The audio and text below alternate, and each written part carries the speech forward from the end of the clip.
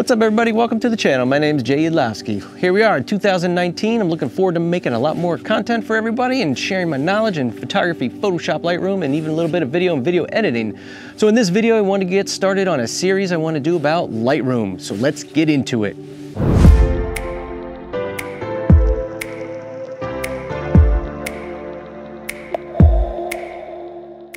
So here we are in 2019 and I want to get started on a series about Lightroom. I think Lightroom's a great program, but it can be a little intimidating if you're just getting going in it. So this kind of series that I'm putting together is gonna be for people who are new to Lightroom or just getting started in it. Gonna go through all the basics, explain the different parts, the different features, how to set things up, how to process your images, how to catalog them, organize them, all that kind of stuff. So if you're interested in any of that, consider checking out the rest of this series as I post the videos and consider subscribing to my channel.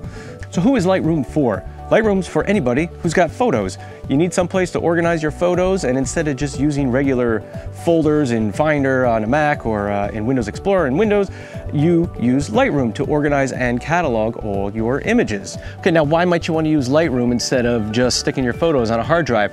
Well, Lightroom gives you the ability to look for all your photos in one spot. You can also catalog them, sort them, organize them, and you can process, edit, and develop your photos in a huge variety of ways. So that's the big advantage of using Lightroom is you can catalog them, you have them all in one place, and you can edit them. So one of the great things about Lightroom is as you catalog and as you edit your photos, it's all non-destructive. So nothing happens to your original photos. They're always there. They always have the original file without it being destroyed or changed.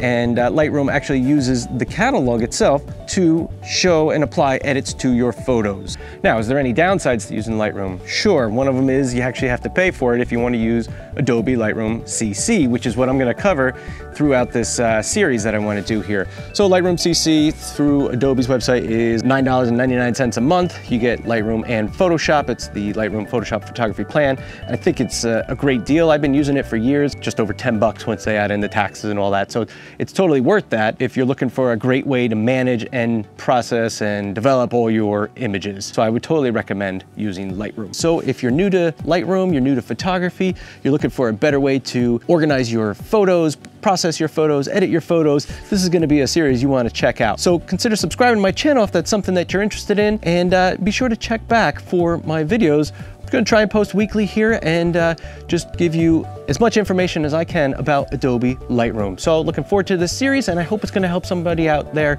uh, just as others have helped me out along the way. If you like this video and you're looking forward to this series, give it a thumbs up, subscribe to my channel, and I look forward to seeing you in the next video. Man, seriously, can you hear that? You hear those horns? I'm trying to make a little video outside. It's so nice in January. I gotta be out here making the video. Someone's got their horns blasting. Turn off the horns. Sheesh. Oh, hey, there we go. Sweet.